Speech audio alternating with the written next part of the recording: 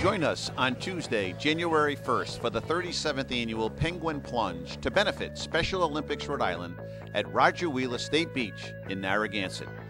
It's been a New Year's Day tradition for thousands of Rhode Islanders. Registration begins at 10 a.m. and the plunge will take place at 12 noon.